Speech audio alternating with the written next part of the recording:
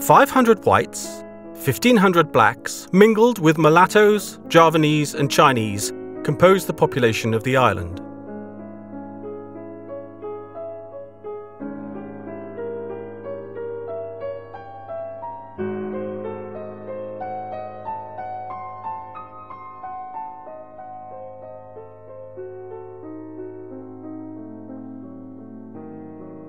Jamestown is its town and its harbour.